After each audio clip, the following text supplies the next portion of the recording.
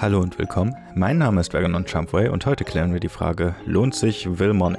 Wilmonic ist ein Spiel von Bludgeonsoft und außer dass sowohl der Ersteller als auch das Spiel selber ziemlich komische Namen hat, die man erstmal drei, vier Mal üben muss auszusprechen, bevor man ein Video dazu machen kann, ist es gleichzeitig noch ein Survival-Crafting-Game zusätzlich mit dem Faktor, bitte beachte das Ökosystem und alles wird gnadenlos aussterben. Dementsprechend also nicht gleich sofort abschalten, denn vielleicht ist es doch mal neues Futter, was mal neuen Wind reinbringt in dieses ganze Survival, Crafting, äh, er hat schon wieder gesagt, Zeug.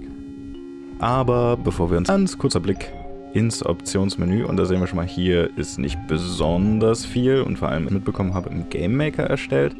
Dementsprechend, hm, schon mal nicht so schön, dass viele Optionen sind, aber okay, für ein 2D-Spiel soll das gerade noch so ausreichen. Subpixel Animation, also wo sehr fette Pixel haben, wie wir im Hintergrund sehen, sehen wir auch, dass dann die Animationen recht geschmeidig ablaufen und nicht Punkt für Punkt weit auch logisch. Und falls das Spiel mal abstürzen sollte, können wir sagen, ja, bitte sende dem Entwickler zu, was passiert ist und dann kann er das fixen. Ansonsten immer noch Soundeffekte und Musik frei einstellbar, die übrigens Gut, die Soundeffekte sind relativ rudimentär, aber die Musik ist relativ angenehm und chillig. Ansonsten hier vor allem die Größe einstellbar, indem man hier einfach versucht Zahlen einzugeben und dann hofft, dass es für einen genau passt. Ausprobieren. Nicht, äh, nicht unbedingt die tollste Lösung. Einfach ein Zoom, zweifach, vierfach Originalauflösung, irgendwie sowas, wie es in anderen Pixelspielen gemacht wird, wäre da ganz schön. Aber okay, gut. Wir schauen einmal rein, kreieren eine neue Welt, wird Medium, die ist noch relativ überschaubar.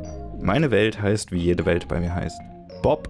Und wir schalten das Tutorial mal aus, dass ich nebenher alles in Ruhe erklären kann und nicht so daran hänge, was mir das Tutorial sagt. So, wir drücken Pause und sehen schon, okay, für ein Crafting-Game erstmal, hm, sehr komisches Menü. Wir haben hier ein nahezu quadratisches Spielfeld, haben hier dann noch sehr viel Platz für hm, irgendwas. Das liegt allerdings daran, dass das Spiel gleichzeitig auch für mobile Geräte entwickelt wurde. Dementsprechend, gerade wenn man zum Beispiel auf einem iPad spielt, was immer noch 4 zu 3 ist, ist das hier dann natürlich die perfekte Auflösung und daran wurde sich auch orientiert. Auch in den Tutorials liest man immer wieder, äh, das, das sind die Mouse-Controls für Touch-Devices. so, und was sehen wir hier? Wir sehen erstmal unsere Spielfigur, die wir auch ein wenig anpassen dürfen, so wie wir gerade lustig sind. In ihrem Aussehen, in ihrer Farbe, Gesicht. Ja, okay. Rennen wir jetzt mal so rum. Sieht ein bisschen derpy aus. Aber was soll's. Wir haben hier unsere Aktion laufen, was wir auch mit der Maus, sprich Touch-Steuerung, erledigen können. Wir können Dinge greifen, wie zum Beispiel diese Pilze hier, das Handsymbol gehen und dann mit der Leertaste klicken und erstmal ernten. Eine der ersten Dinge, die wir in diesem Spiel hier tun sollten. Dann gibt es die Möglichkeit zu observieren. Hier zum Beispiel sehen wir schon mal unseren ersten Animatroid. Das, was auch Ziel des Spiels ist, wir haben einen Animatroid am Anfang, die sollen sich am besten vermehren, weiterentwickeln und immer mehr und verschiedene Spezies werden. Der ist noch in dieser wunderbaren Box gefangen, aber den lassen wir gleich frei, wenn wir ihm den richtigen Lebensraum zugewiesen haben. Aber vorher einmal noch kurz Pilze wieder einpflanzen, denn wie schon gesagt, wir müssen auf das Ökosystem achten und die grünen Pilze vermehren sich zwar am Anfang noch sehr, sehr unkontrolliert und grausam, so wie sie wollen.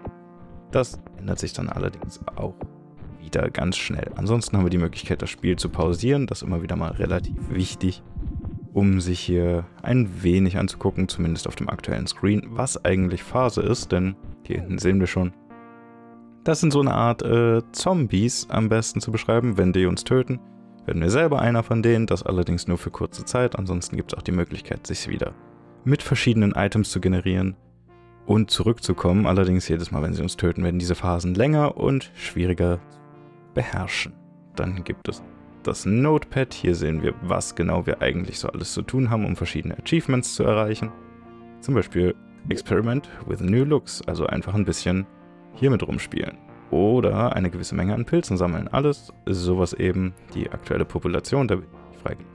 Bei 0 und wir auch noch kein. Nächster Punkt wäre das Crafting-System, das mh, mm, am ehesten wahrscheinlich so Richtung Terraria, nicht ganz unbedingt jetzt Minecraft. Wir haben zwar hier unten vier Felder, die wir auch in der richtigen Reihenfolge anordnen müssen. Also zum Beispiel die Pilze hier schnappen. Können wir entsprechend alles in Holzbretter umwandeln. Ob das jetzt gerade eben so schlau war oder nicht, sei mal dahingestellt. Alles hätte ich vielleicht nicht unbedingt umwandeln sollen. Aber naja, im Prinzip darauf basiert das Ganze. Bisschen was mehr, gehen wieder in das Crafting-Menü und schauen dann mal, was könnten wir denn machen. Zum Beispiel diese Blöcke, Fiberite Blocks. Dazu brauchen wir erstmal die Fiberite Boards und anschließend noch gelben Fungus. Den haben wir aktuell nicht. Wir haben nur grün und grau bedeutet hier, wir können jede Variante benutzen. Dann wird das Rezept hier unten entsprechend ausgeführt und man kann craften, wie man eben schon gesehen hat. Und das gilt von Grundmaterialien über Blöcke, um sich kleine Behausungen zu bauen oder eben Abgrenzungen von der bösen, bösen Zombie-Welt, denn gerade das Mauern bauen, um seine eigene Herde hier zu beschützen, ist relativ wichtig im Spiel. Aber dann auch später zu Kisten für mehr Inventarplatz, denn anfangs sind wir zwar recht gut ausgestattet, aber auch das müllt sehr, sehr schnell zu. Designobjekte, Türen und natürlich Werkzeuge in verschiedenen Farben, Formen, Wertigkeiten, Lustigkeiten, Blödigkeiten und so weiter. Aber gut, fangen wir doch endlich mal an mit was Sinnvollem. Äh, drücken wir da auf Play und schieben unseren Animatroid in die Nähe von Wasser und schauen am besten nochmal drauf, was er genau wird. Mhm, ja, okay, okay.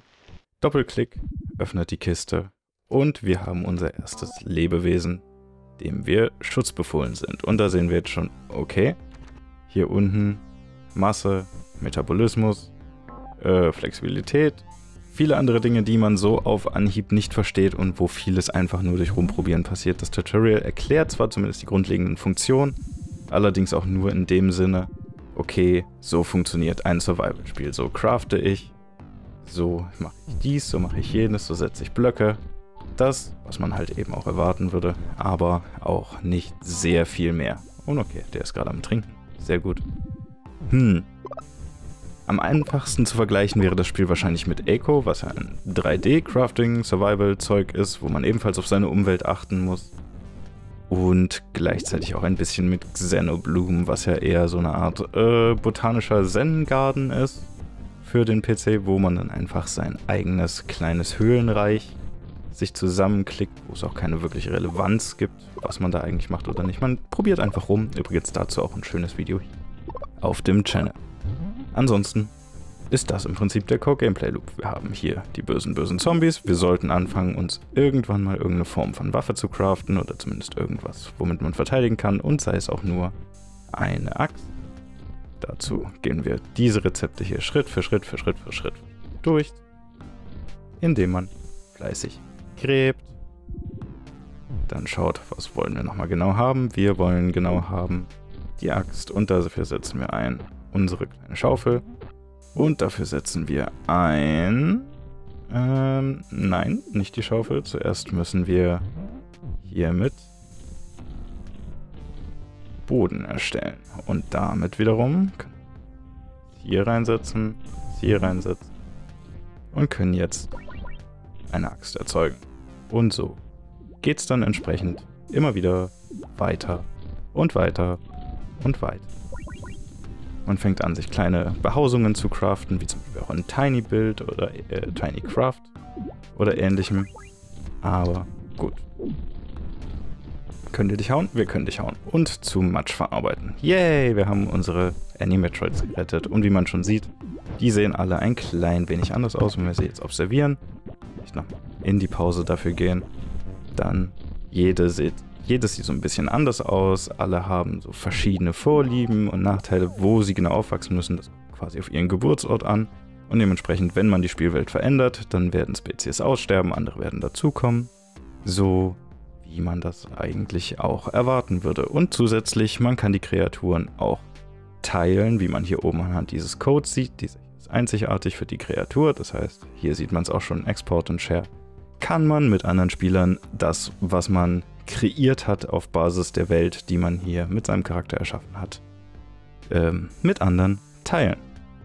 In dem Sinne also schon mal ein Crafting-Game, das prinzipiell erstmal nicht so viel neu macht im ganzen Sinne von Crafting. Wir müssen hier, hallo Drohne, du hast nichts für mich, weil bei mir noch nicht alles ausgestorben ist, haha. Es erfindet jetzt das Rad wirklich nicht neu oder ähnliches, sondern besinnt sich auf altbewährtes, das in einer 2D-Umgebung, Kämpfen mehr oder weniger rudimentär, Craften mehr oder weniger rudimentär und Dinge aufbauen auch mehr oder weniger rudimentär. Nur eben der zusätzliche Aspekt, dass man hier jetzt noch Kreaturen hat, die es zu beschützen gilt vor fiesen, fiesen Zombie-Monstern hier. Das äh, hebt das Ganze so ein bisschen ab. Und jetzt die Frage halt, wer möchte das spielen? Auf jeden Fall Leute, die vielleicht mal wieder irgendeine Form von neuer Herausforderung beim Crafting brauchen. Zum Beispiel halt endlich mal. Jo, äh, es sind gerade Leute ausgestorben. Das ist schade. Wer zum Beispiel genau sowas eben am Leben erhalten möchte. Äh, oder Leute, die vielleicht sowas wie Eco suchen, denen das aber zu hektisch war, beziehungsweise einfach eine entspanntere Variante davon suchen. Generell irgendwie, es ist so ein Mittelding für Leute, die jetzt nicht das ganz Extreme suchen, wo sie dann wirklich hardcore auf ein Ziel hinarbeiten müssen, sondern ein bisschen entspannen, die aber trotzdem eine leichte Survival- und Creative-Herausforderung suchen, wo sich auch jede Entscheidung, und sei es einfach nur sowas wie ein Loch zu buddeln, tatsächlich auf die Spielwelt auswirkt und damit auch auf die umherwandernden Kreaturen. Was so ein Loch nicht alles anrichten kann. Und damit würde ich sagen, was das für dieses Video. Mein Name ist Vergonon Chumpway. Bis zum nächsten Mal.